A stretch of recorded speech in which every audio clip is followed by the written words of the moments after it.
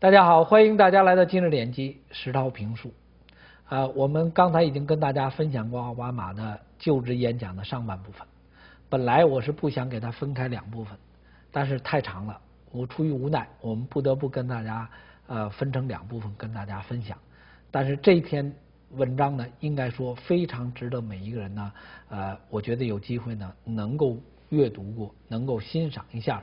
作为奥巴马，作为一个美国历史上第一第一位黑人总统，他在这样一个环境之下的他的境界，他的看法。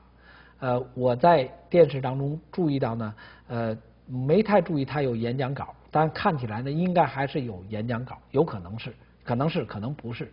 但是我想说的是一个概念：对人的尊严的尊重，对每一个具体的人的存在的尊重。与天与地对神明对上帝的尊重，贯穿了整个这一块美利坚合众国土地上的从上至下的各个阶层的普通的人，这是美国总统的责任。这我们可以看到一个人的尊严、自尊与自由，在什么样的体制之下，在什么样的环境之下，它的价值，它的价值与生俱来。那我们就看一看奥巴马。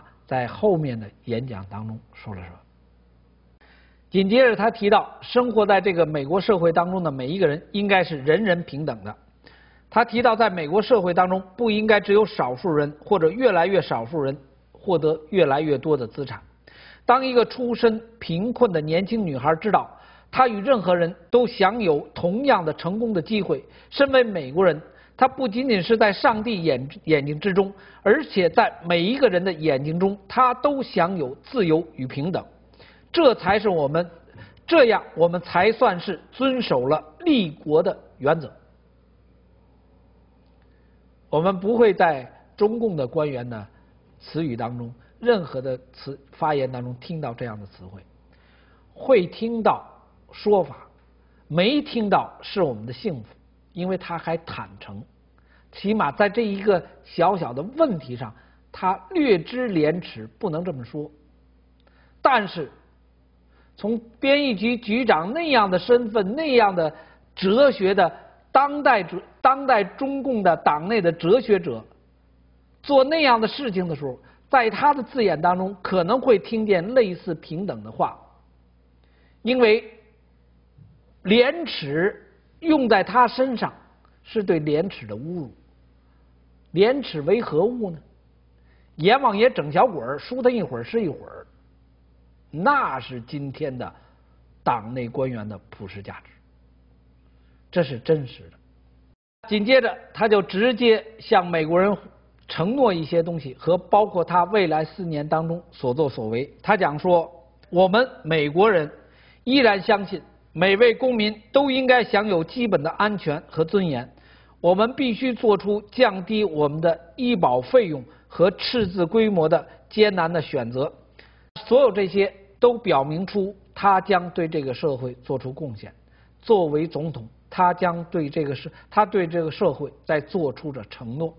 他让他这样的承诺直接针对着每一个家庭、每一个具体美国人的具体的未来的生活。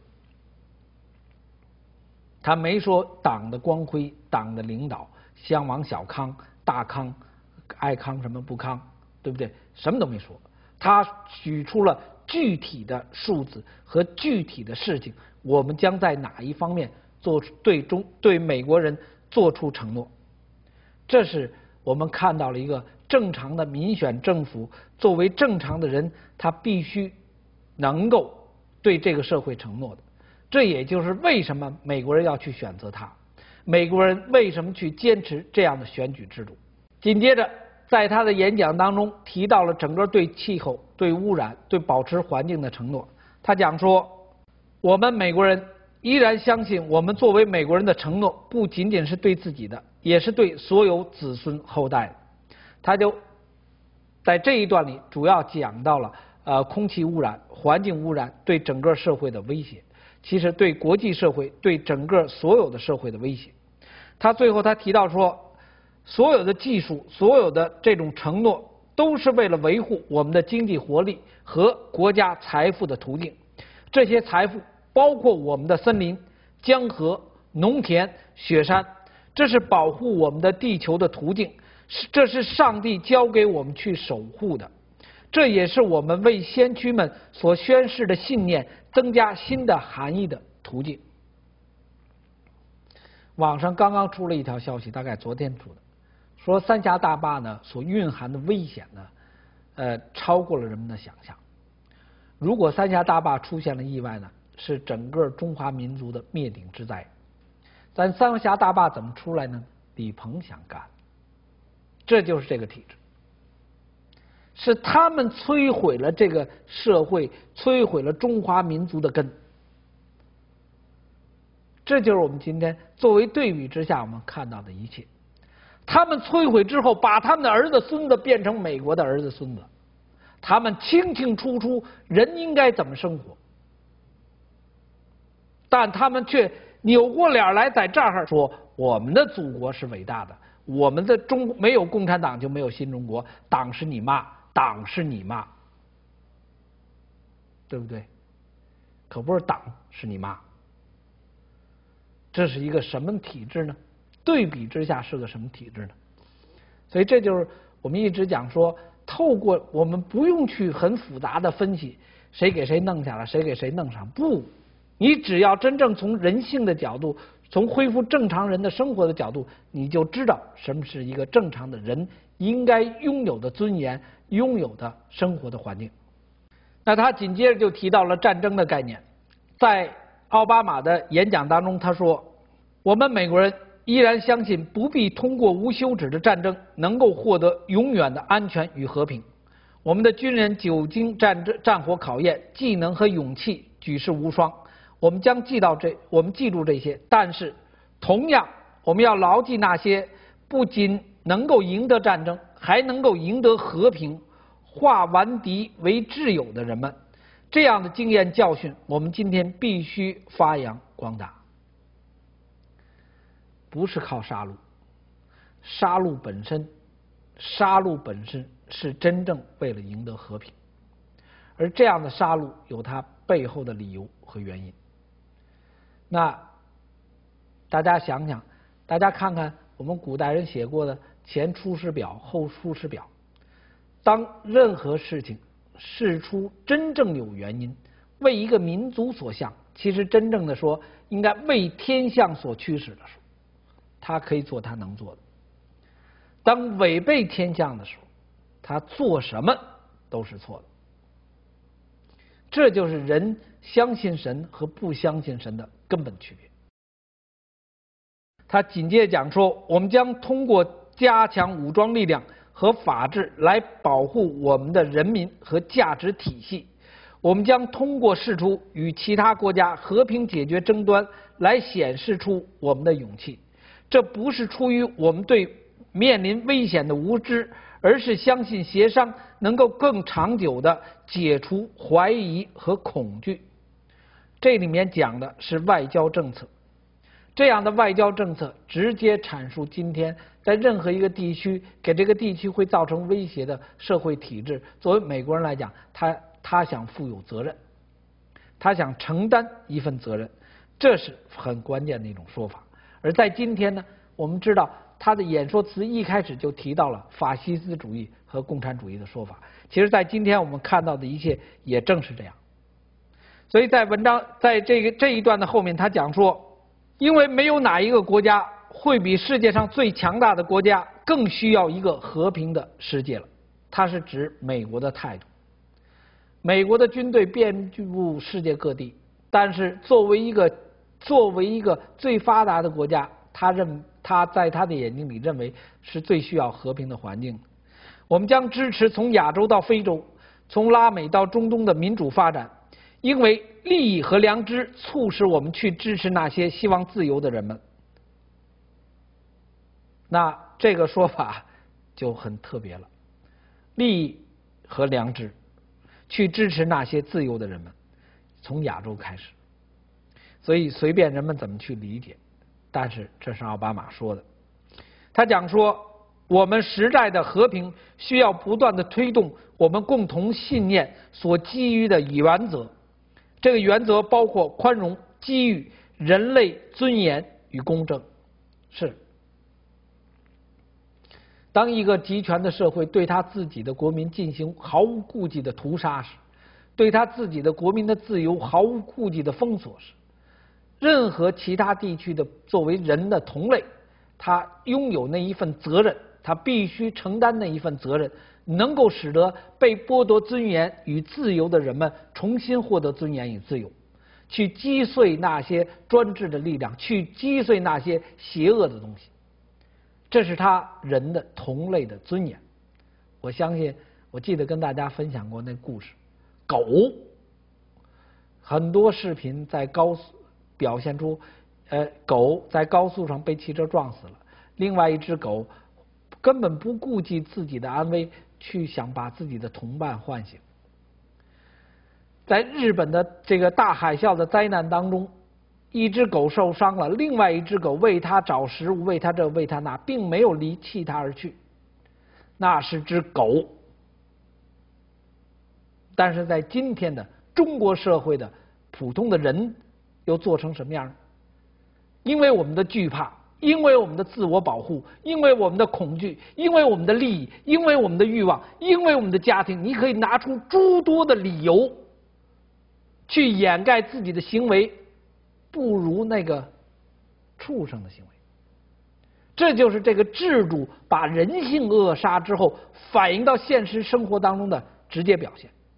然后他紧接着就提到了人的价值。他说：“作为美国人，今天宣布最不言自明的真理就是人人生而平等。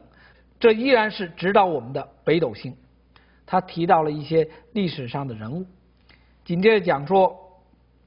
我们个人的自由与地球上每个人的自由是紧密的联系在一起的。如今到了我们这一代人去接过先驱们所开创的使命的时候了。我们的妻子、母亲、女儿在得到与他们付出相符的待遇之前，我们的使命没有完成。直接谈到了那一切都是为了每一个具体的人。而这每一个具体的每一个美国人，他的价值观，他的一切的自由，却与生活在这块土地上、地球上的每一个人都是相关联。所以，他的这篇演讲稿的整个的概念呢，它比较大。这个演讲稿的概念呢，他承担着把他自己、把美国人的本身承担的责任放大了整个地球上。所以，可能正是这个角度被其他的。人都颂扬成说，这确实是一个最优秀的政治家的一个责任一篇演讲。这一篇演讲，他表现出来的境界呢，是相当的有水准的。而他崇尚的一切呢，却是美国的制度。那在他演讲的最后，他直接是这么提到的：他说，我的美国同胞们，我今天站在你们面前宣誓，就和过去在这座国会山庄上宣誓过的人一样。是对上帝和国家，而不是对一个政党或者派别的宣词呃誓词。上来这话直接点出他的责任，上来这话直接点出他从来不会否定他的前任，过去的美国总统，他与他们一样，这是美国人前后贯穿的精神。中共的领袖们、总书记们都被中共自己咔嚓了。对吧？都被中共自己咔嚓了，否则的话哪儿来的反党集团呢？那我们对比之下就知道什么是一个正常的社会。两百多年前的价值观，两百多年前的一四年一届一届的总统，延续到今天的社会当中，依然被美国人所接受。二十年、三十年一代人，如果这么算的话，他们经历了。这么长时间，十几代人，他们依然为他们曾经的东西所推崇的，为他们曾经的东西所骄傲。文化是民族的根，文化是这个社会的基础。这样的文化并不会随着人的更替而改变，这是美国人得以骄傲的地方。而他首先所所推崇的另外一个概念就是，这是对上帝和国家的承诺，而不是对一个政党和派别的宣誓词。你加入共产党、共青团和日和少先队的时候，你宣誓说为他死，只有魔鬼才会这么干。在这世界上，所有任何一个正常的社会当中，一个名人死去的时候盖的是国旗，而中国共产党死去的时候盖的是党旗。他就是魔鬼，他是与整个普世的价值的人正常的生活直接是对立的。在这个奥巴马的最后的宣誓词当中说。我们必须在任职期间忠实履行我们的誓言。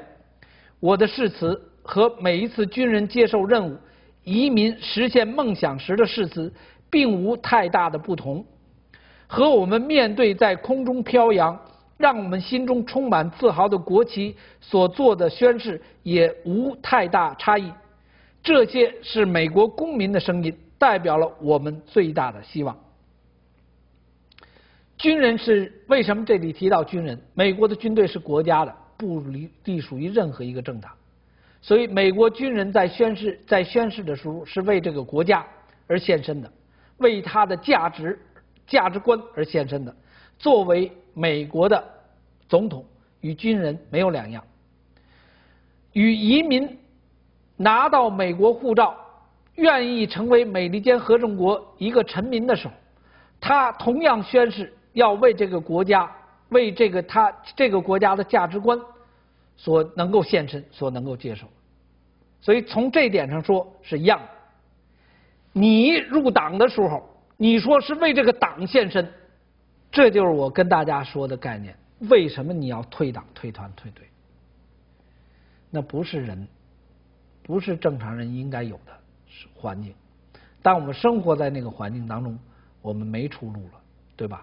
看一看中央编译局局长的所作所为，三百来人给他列出女孩子单子二十三个，个个年轻的，那是个什么单位啊？但他是中央编译局，隶属中共中央的最高的行政机构，党的政策，人民日报写的东西，新华社写出的社论，搞不好都跟他们有关系，都在床上写的。